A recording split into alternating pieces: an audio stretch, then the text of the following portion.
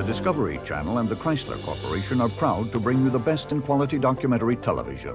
This presentation of The Brain is presented in partnership with Chrysler Plymouth and Jeep Eagle, divisions of the Chrysler Corporation.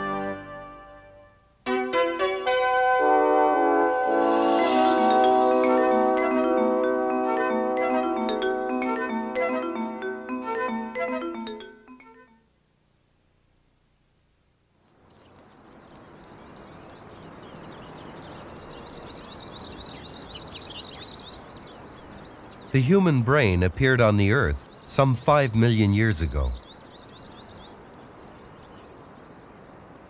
It took just a few million more to fully mature, a mere blink on the geological timescale.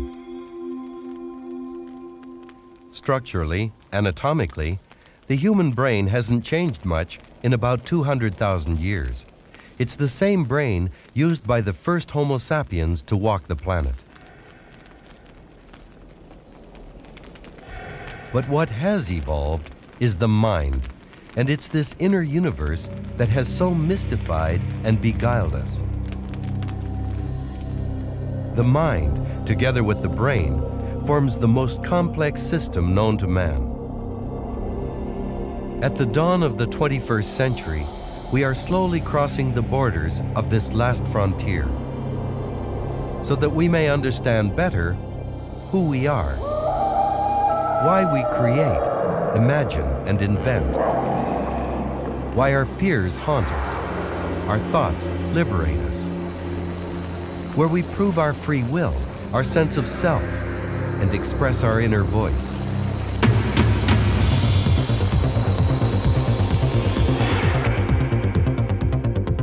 New mind imaging techniques give researchers a tool for mapping the mind.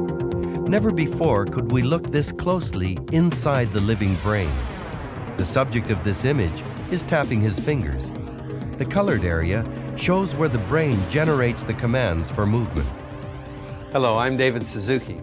I'm sitting by a machine that opens a window into the human brain. It's called a functional MRI.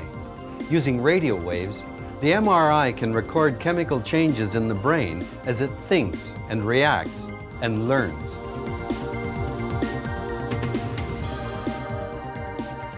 Philosophers, theologians, and psychologists have always speculated about this unmapped frontier. But now, new explorers are actually traveling the uncharted territory of the mind. This quest by neuroscientists may reveal how the biomechanisms of the brain determine who we are and may show us there's a lot more going on in our heads than we know about. It's an exciting journey, but a little scary. As we learn more about what makes our brains tick, we may feel the mind has been reduced to nothing more than a list of biological ingredients.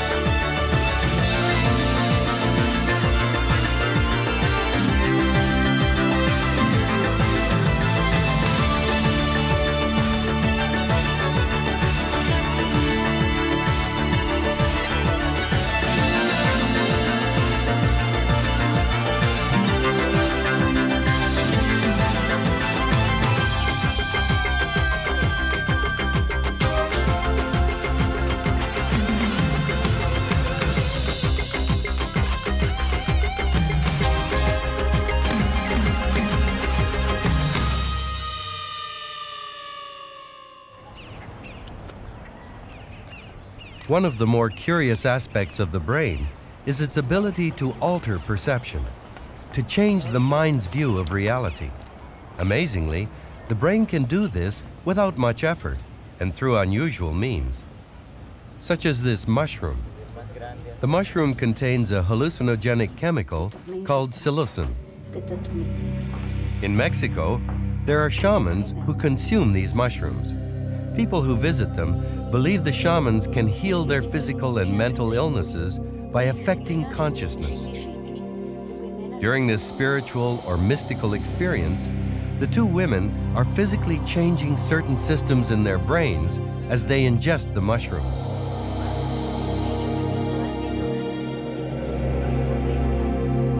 Within an hour, the two experience hallucinations in which they see brightly colored geometric patterns and strange spirits.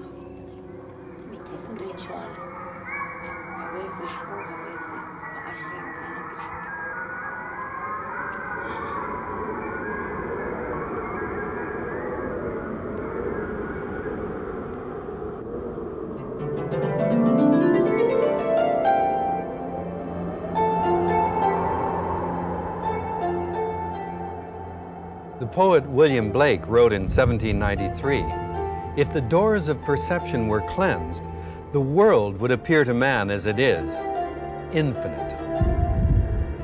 As we learn more about how the brain works, we learn too that the keys to these doors of perception are the brain's own chemicals.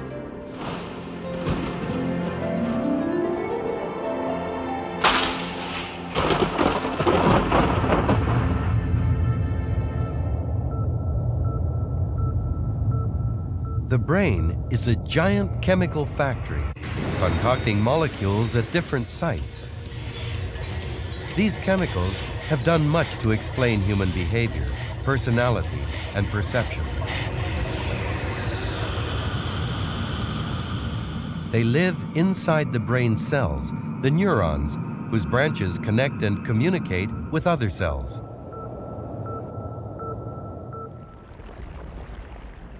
The chemicals are stored in sacs located at the end of a neural branch, the site of the synapse, the space where one neuron sends its message to the next. An electrical charge frees the chemical molecules from their holding tanks, and they make their way across the synapse to the connecting neuron. Neurons chatter constantly in their unique language of electricity and chemistry. There are a hundred billion of them in the brain, and they form thousands upon thousands of communication lines with other neurons. Neuron to neuron communication serves as the basis of all brain activity. It's a simple mechanism that, when multiplied trillions of times, becomes astonishingly complex.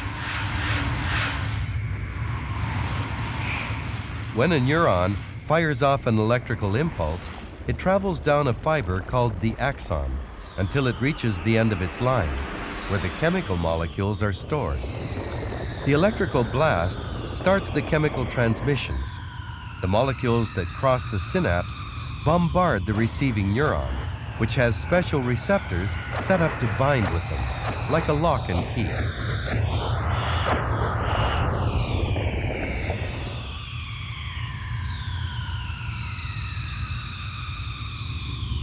The molecules that travel from one neuron to the next are called neurotransmitters. So far, we've identified about 50 of them in the brain substance P, noradrenaline, endorphins, dopamine. There could be many more.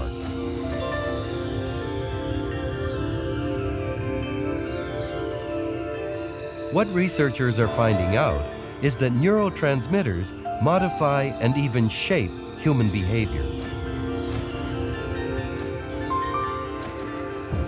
A few in particular are helping scientists understand the biological basis of sadness and joy, love and violence, and the way we see the world through a particular human spectrum.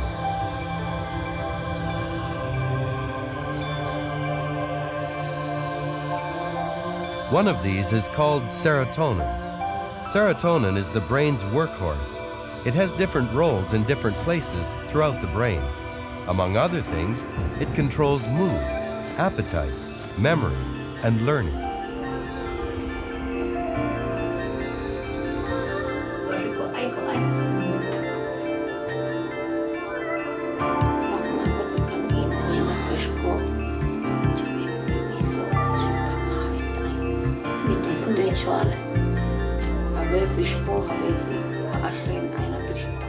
Hallucinations experienced by the shaman come by way of tampering with the serotonin system. Serotonin is unusual in that it can act as both an inhibitor and an enhancer, depending on where it is in the brain. In the case of hallucinations, serotonin acts in at least two important areas. In this PET scan image, these two areas are highlighted in red, the frontal lobes and the thalamus.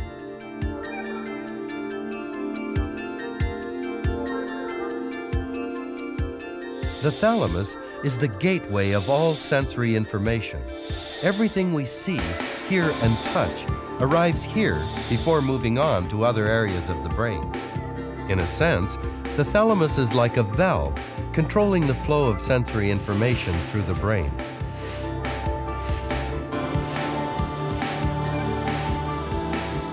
Filtered information from the thalamus eventually travels to areas of the cortex for final processing. Much of that information makes its way to the frontal lobes. The frontal lobes are the brain's smart parts. They use the incoming information to make decisions, to plan.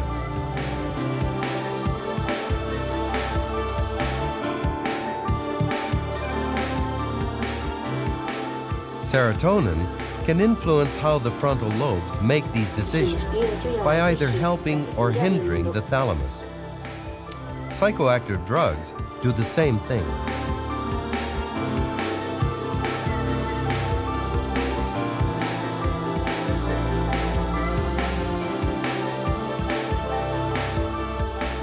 The psilocin in this mushroom is remarkably similar in molecular structure to serotonin.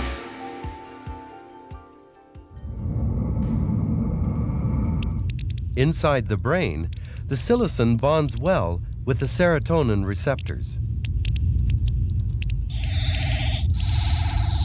The red-colored psilocin takes serotonin's place at the receptor site, releasing the valve of the thalamus. The result, too many electrical signals, reaching too many parts of the brain.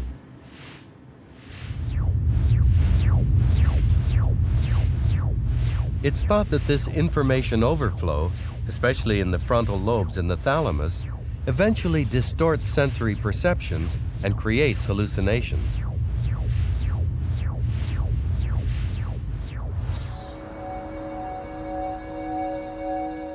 As far back as history allows, we've known of our ancestors' efforts to open the doors of perception through various means, including religious rites, hallucinogens, and sensory deprivation. In Japan, on a chilly winter day, four city dwellers make the trek up a mountain where they will endure seven days of sensory deprivation and fasting. The four include a boutique owner, a bus driver, a housewife, and a businessman.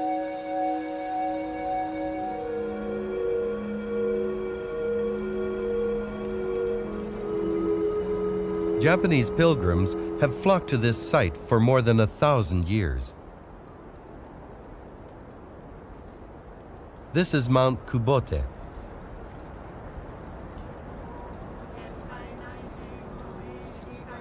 Feeling a void in their everyday lives, people come here in search of a transcendent experience, one that would change their view of the world.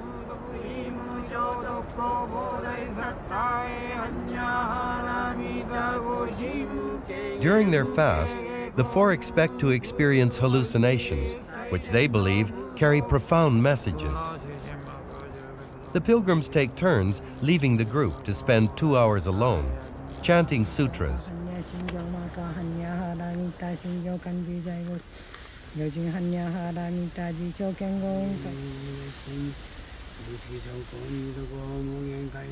They have selected the coldest time of the year a time when the mountain is deserted and the nights grow pitch black.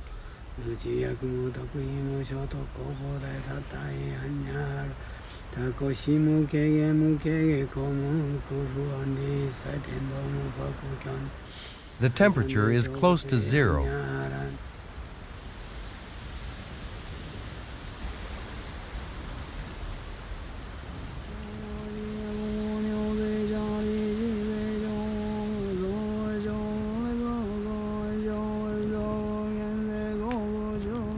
On the third frigid night, without food, and after long stretches of solitary confinement, the situation changes.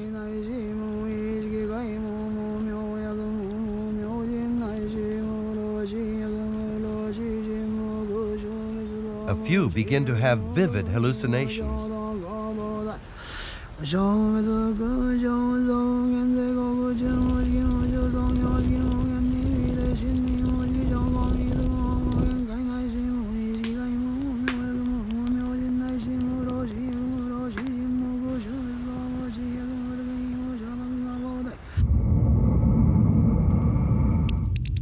What is going on inside their brains?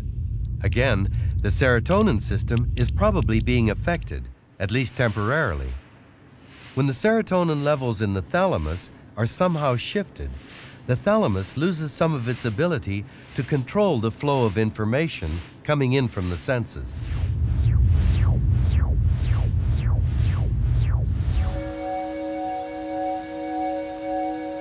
It's now day four of the fast. The hallucinations grow in intensity.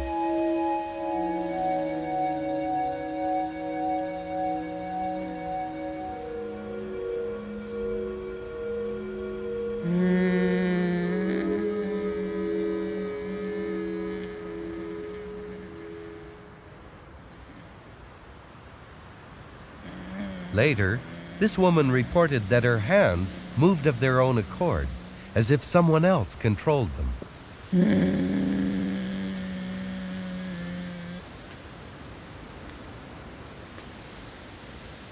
Another person felt a presence on his left.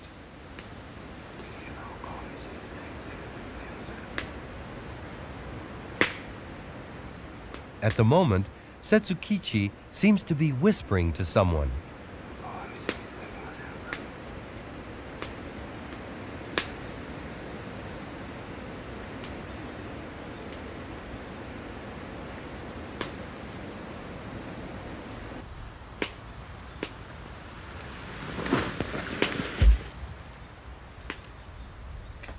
He reported that at this point, a pilgrim from the past with a sword wound on his face appeared and pushed him over backwards.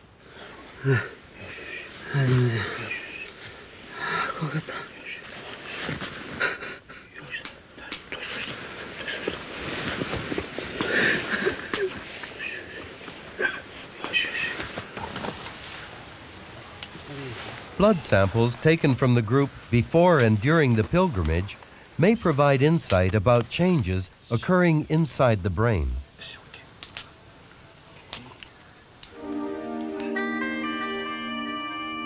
Back at Japan's Hiroshima University, researchers processed the blood.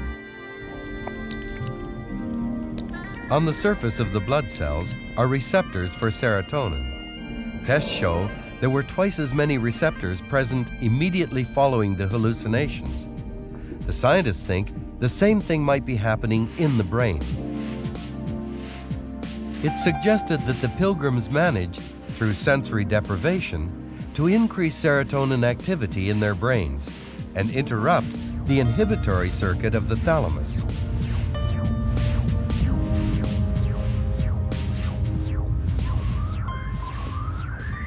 Tampering with the serotonin system is, in a sense, like loosening our biological brakes. It can sometimes permanently change one's perspective.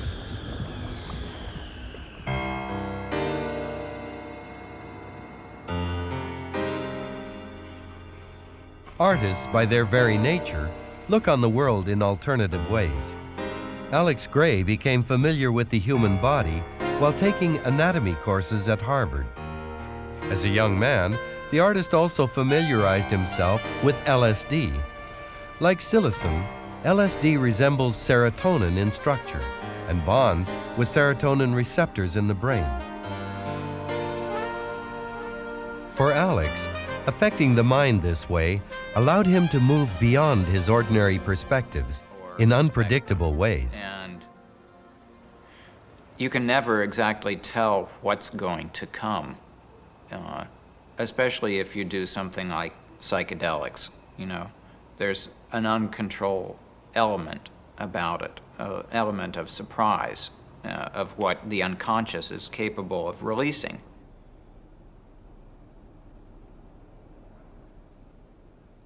Much of his art shows recurring images, meant to convey the extraordinary interconnectedness humans have with the world.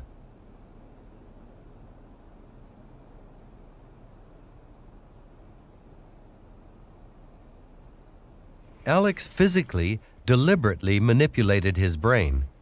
His visions come by way of simply altering one of its chemical systems, but the effects are profound and sobering, frightening for some, enlightening for others. Is that uh, the psychedelics could be a great tool uh, for the visionary artist. At least they have been for me. It's like a uh, telescope or a magnifying glass into hidden dimensions of the uh, of consciousness, transpersonal dimensions of consciousness, or sort of uh, hidden, unconscious, ugly, surreal, weird uh, kinds of dimensions uh, a person can go mad, in a sense, uh, for a few hours and uh, come back.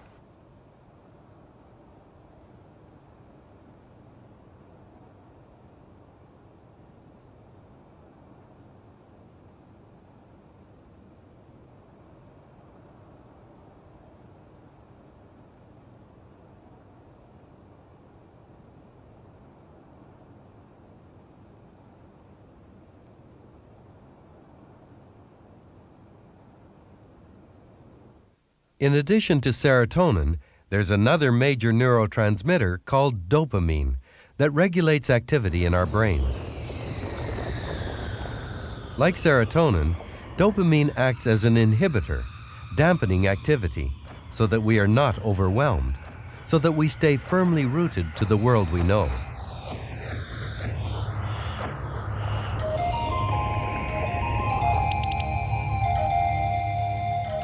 Like all neurotransmitters, dopamine travels along special pathways in the brain. These pathways extend into different areas, where dopamine plays different roles. For example, researchers have mapped several dopamine projections into the basal ganglia, the area highlighted in red and yellow. The basal ganglia are located in the brain's interior. And studies on the basal ganglia show that they're an area critical for executing smooth and controlled movements. When dopamine fails to reach this area, Parkinson's disease sets in. People with the disease lose their ability to initiate and control movement. Dopamine also flows into the frontal lobes, where, like serotonin, it regulates the flow of information coming in from other places in the brain. Some researchers hypothesize that a compromise in the flow of dopamine, especially in the frontal lobes, may produce disruptive or incoherent thought.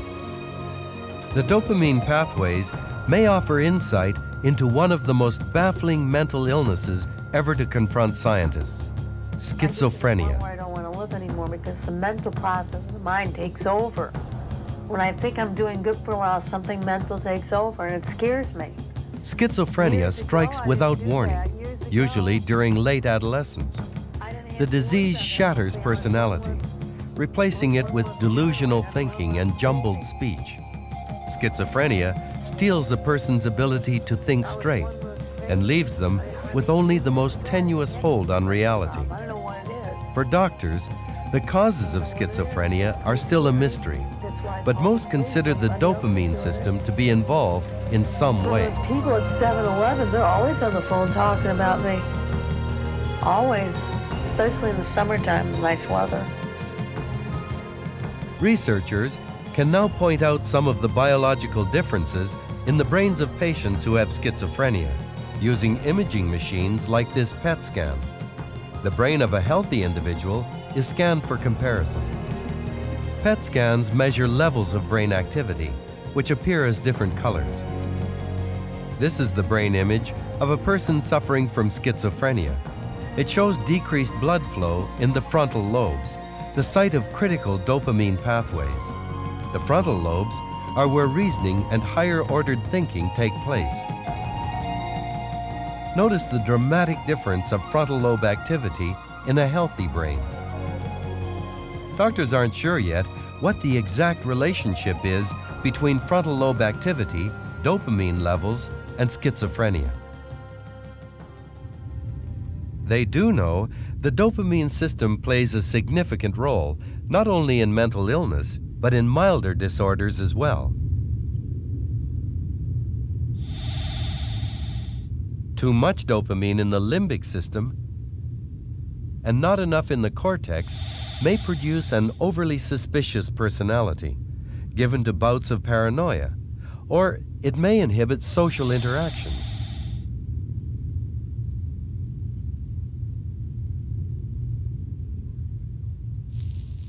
A shortage of dopamine in the frontal lobes may contribute to poor working memory. That is, the ability to hold something in the mind for several seconds at a time, such as adding several numbers together in your head.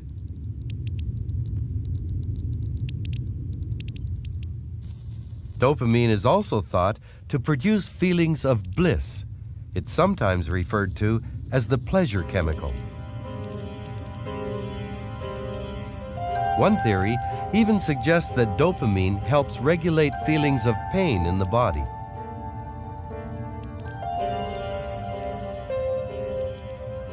When an injury occurs, several receptors in the skin become activated. When stimulated, they then produce an electrical signal that travels through the spinal cord and eventually reaches the brain.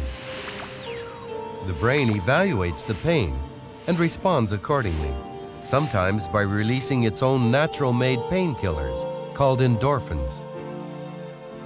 Endorphins bind at special opiate receptor sites of neurons where they begin the process of mediating pain. Researchers now think that endorphins may affect the dopamine pathway that feeds into the frontal lobe. This is where that pathway begins. The activity of this pathway is usually held in check by other neurons, shown in blue. They inhibit the flow of dopamine. In turn, the blue nerves are connected to these purple nerves that release endorphins. When vast quantities of endorphins are released, the blue nerves shut off, so to speak.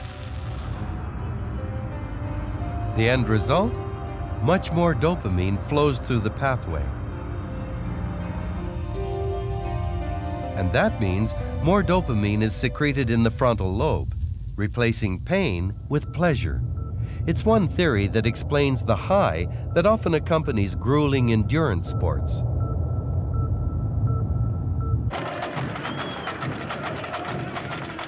Among its many roles, dopamine plays a part in perhaps the greatest of human dramas love.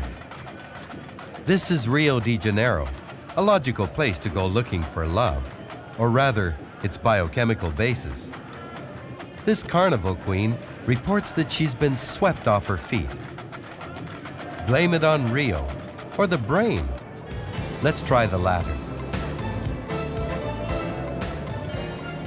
Now, most of us know the strange and exciting feeling of love, but the brain chemicals that produce this kind of reaction are not as well known. Love, in fact, is a drug, a couple of them.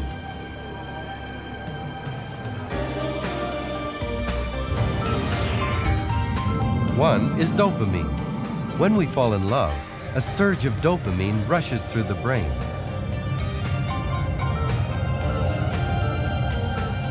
It's dopamine that makes us feel good about the world, that makes us smile at strangers.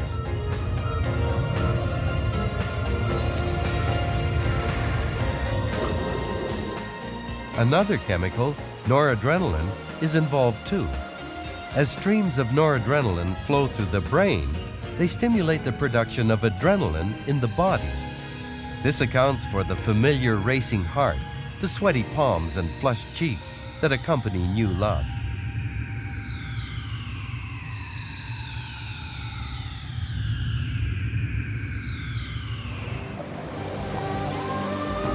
Add one more chemical to the mix, phenylethylamine, which is also a natural ingredient in chocolate, and soon we're in a state of bliss. Together, these chemicals create a love potion so powerful they sometimes override brain activity that governs logic. And sometimes take us right over the edge. But why? Well, one explanation is that these chemicals play a critical role in the limbic system, the seat of emotions. There's a shift in the balance of brain power. The limbic system takes over in a sense. There's less integration with the more thoughtful cortex. That's why we sometimes choose someone who's all wrong for us. But this chemical flood eventually dries up. The surges end. What happens then? Love moves into the cortex, the thinking part of the brain. It's here that we get hold of ourselves and either experience true love or wonder what we ever saw in him or her. Brain chemicals still play a role in true love, but these are the chemicals of attachment rather than infatuation.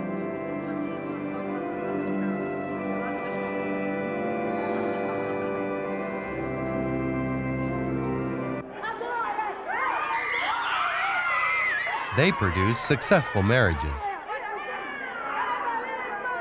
And they're also associated with the love that families share, that creates kinship.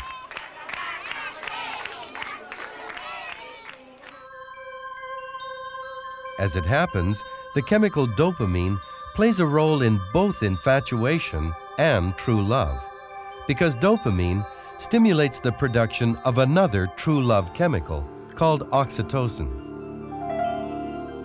Here, the oxytocin neurons in the middle of the screen are surrounded by nerve fibers along which the dopamine flows. The release of dopamine from these fibers stimulates the secretion of oxytocin, represented in green.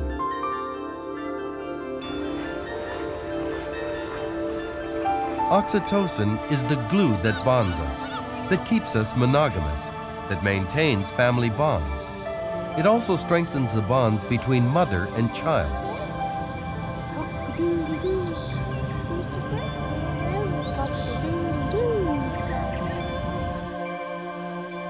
Oxytocin is called the cuddle chemical, and for a reason. It's present in high levels in women who've just given birth and increases a mother's urge to cuddle or nuzzle her infant.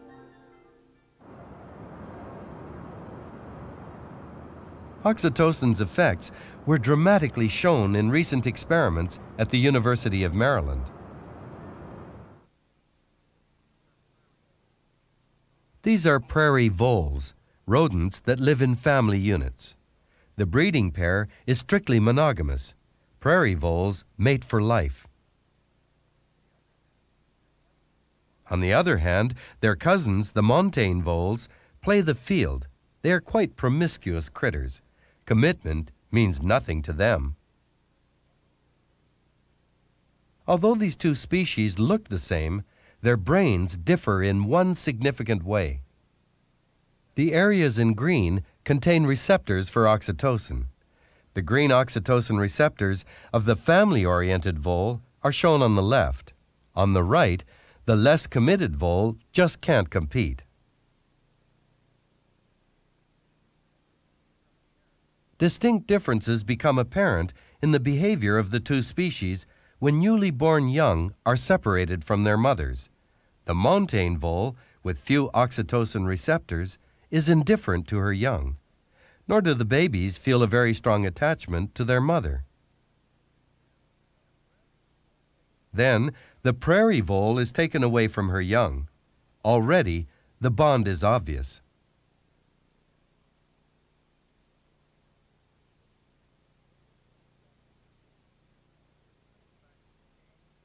When placed back in the cage, the prairie vole quickly runs to her young to cover and protect them.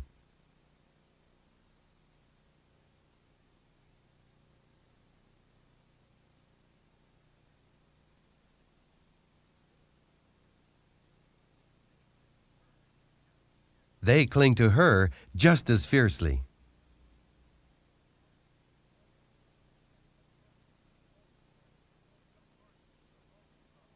Of course, all this talk of oxytocin and dopamine doesn't sound very romantic. Some might argue to leave love well enough alone, out of the hands of science. But leading neuroscientists, including Antonio Damasio, assure us there's nothing wrong with searching for love in the brain.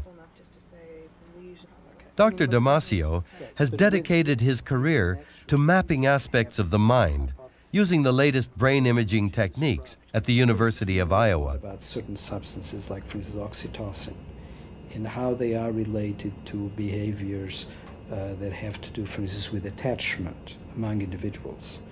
Uh, how they are related, in fact, to many things that are components of uh, phenomena such as the phenomena of love.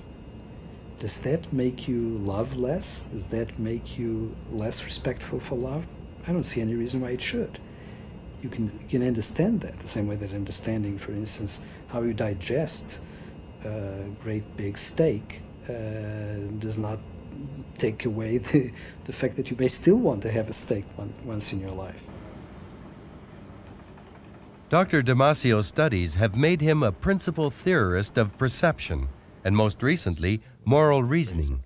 He believes that translating powerful human experiences into brain activity doesn't diminish their authenticity. No. Uh, a number of neurochemical transmitters and neuromodulators that are going to make you cry or that, or that are going to make you smile within a certain context of your life. That doesn't mean that I should have any less respect for your sadness or for your happiness. It has it's something that occurs in parallel. It is one thing to know the mechanisms that lead in part to your sadness and to your joy, and another to have respect uh, and to have sympathy and empathy with that joy and with that sadness. Perfectly compatible. In fact, one of the things that I like to tell people uh, with whom I speak about this subject is that even after knowing everything we know about what generates human emotion, you would still be authorized authorized to have an entirely romantic view of the value of emotions for human beings. The case of 19 year old Natalie provides another viewpoint from which to observe emotion and behavior.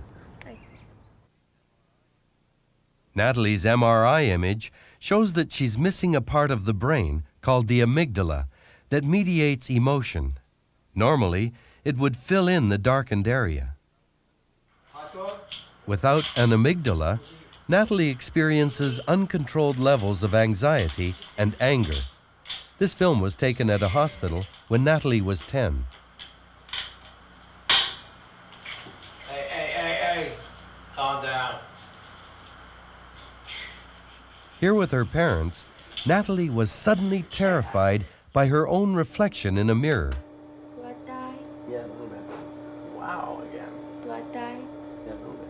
Even now, her condition remains unchanged. Four people. Oh, Four. No one. Four people. Yeah, look a little bit. Five you. No, they do. Yeah. The video crew makes her extremely anxious. Do it. Whenever strangers visit the house, Natalie locks herself in her room.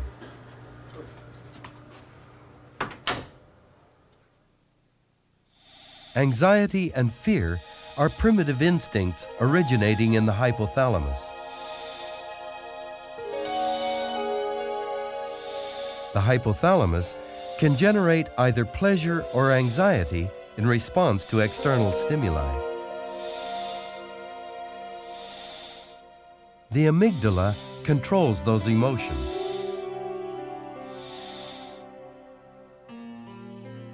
Without it, they would go unchecked. Well, we all have a primitive fear of strangers. We're all wary around strangers.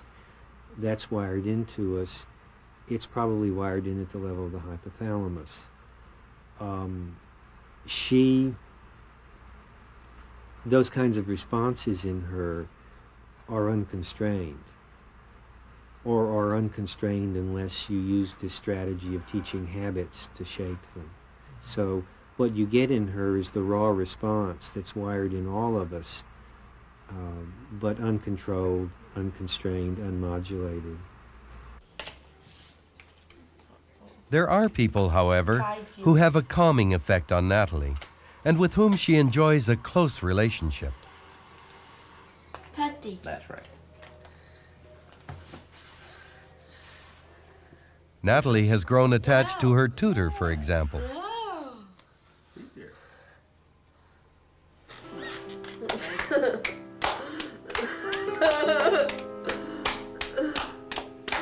She is also extremely close with her mother.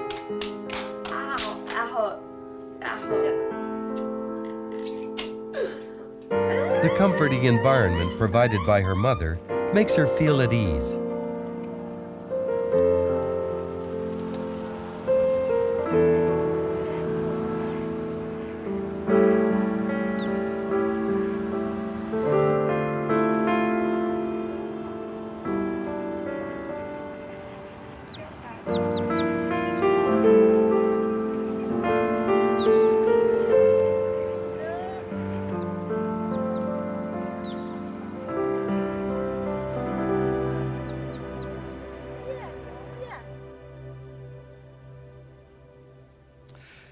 Chemicals in the brain can change behavior, does that mean they also dictate a person's character and temperament?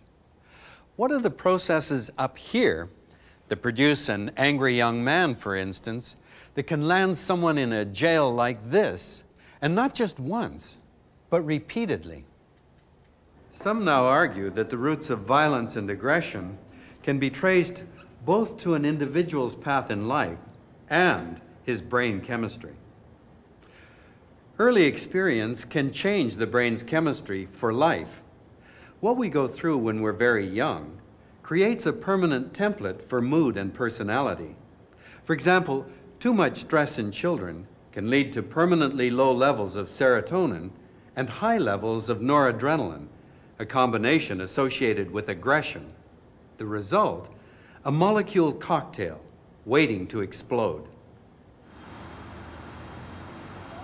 At the Medical College of Pennsylvania, a program is underway to treat the biological roots of aggression. Here's a pen. Psychiatrist Emil Coccaro heads the program. Dr. Coccaro has focused his career on researching the causes of violent behavior. Well, people think of behavior largely as being something that's determined by how one grows up, you know, how their parents treat them, things that happen to them in life. And that's certainly a very important part of behavior, that sort of developmental kind of thing. But the fact is that we are biological organisms, and our brain is a biological organ, and it works through sending chemical messages back and forth between various neurons.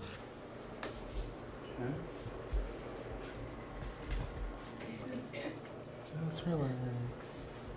It's just bloody. Dr. Coccaro has found a remarkable correlation between low levels of serotonin and aggression. He's had some success treating patients with fluoxetine, commonly called Prozac, which increases serotonin activity in the brain. serotonin usually acts as an inhibitor on other neurons.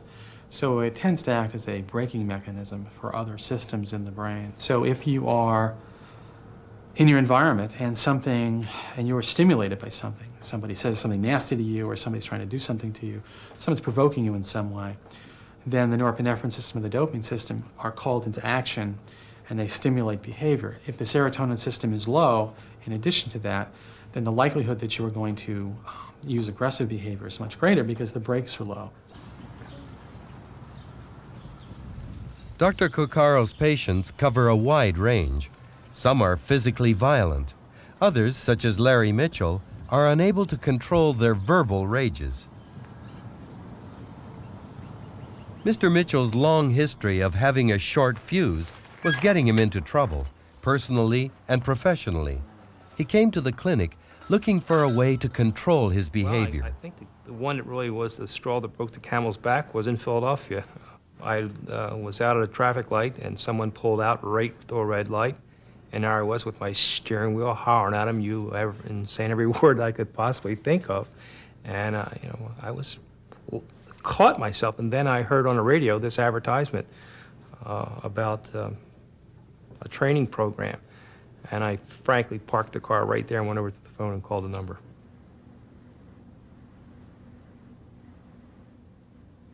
On the surface, Mr. Mitchell seemed a great success, an environmental engineer with his own thriving business.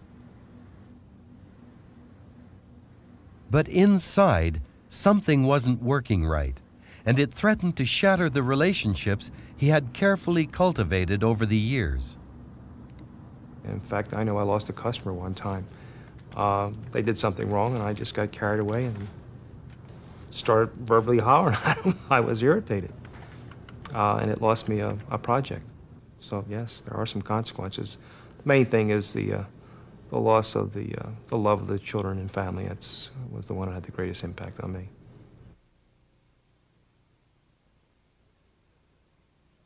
Within just a few weeks of taking Prozac, Mr. Mitchell's impulsive and angry outbursts stopped. He began to repair his damaged relationships. My kids kind of look at me and saying, why am I not so grumpy? and it's kind of a joke uh, because uh, we're just, we've gone through a much greater bonding. Uh, it's, I know it's great for me, and I, I, enjoy being with them, and I know they enjoy being with me. And my wife sees a, a big shift in my attitude, uh, not being always so grumpy or uh, irritated. Um, people at work, I think, were the first people to notice. Um, I had a secretary just couldn't figure what was going on, why I was so peaceful. Um, and she remarked, I don't know what you're doing, but continue doing it.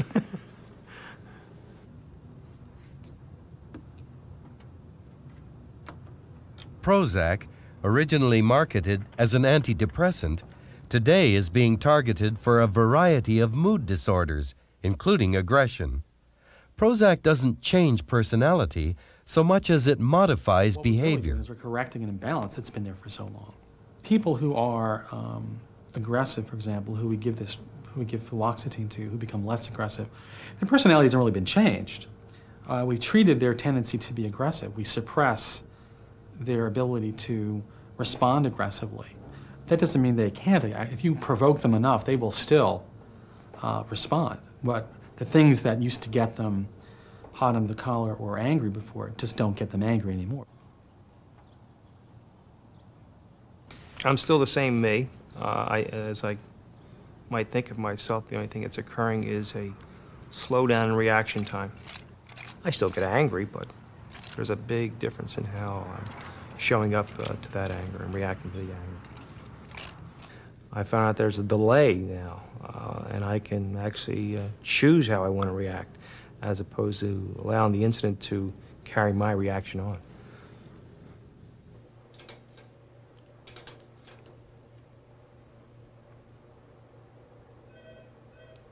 Prozac is not the panacea for the 21st century, and its use is still hotly debated.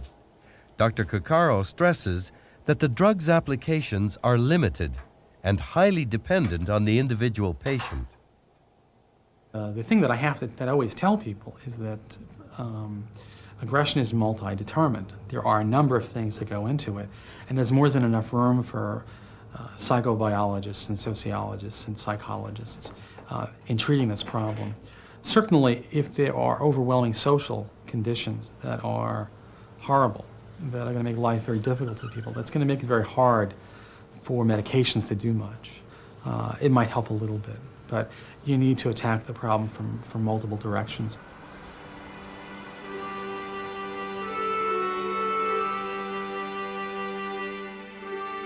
A hundred years ago, the walls of this laboratory were lined with preserved brains, pickled in fact. They were the brains of patients in what we used to call an insane asylum.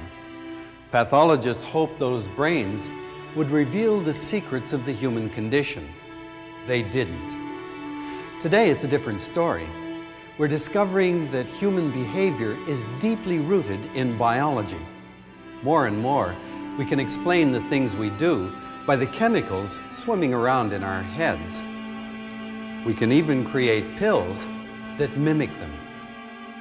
Dr. Coccaro's work in Philadelphia suggests we've found a prescription for successful intervention, a way to treat societal ills when other methods don't work. But the implications of a chemically improved society are still frightening. For one thing, what do we mean by improved? And the very idea of a biochemical basis for personality challenges our historic view of ourselves. In the past, the law itself has excused us from accountability if our actions resulted from some biological flaw beyond our control. But what now, when we can correct these flaws with chemicals? So, what's the verdict? How should we feel about this? What does this scientific evidence say about who we really are? At the turn of the millennium, as the old world of mystery and myth gives way to the age of scientific reason, the jury is most definitely still out. For the Discovery Channel, I'm David Suzuki.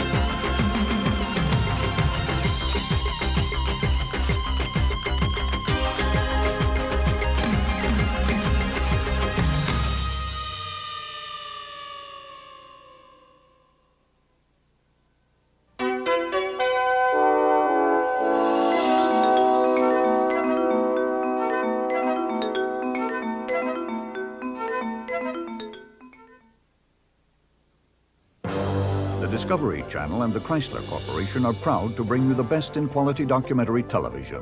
This presentation of The Brain is presented in partnership with Chrysler Plymouth and Jeep Eagle, divisions of the Chrysler Corporation.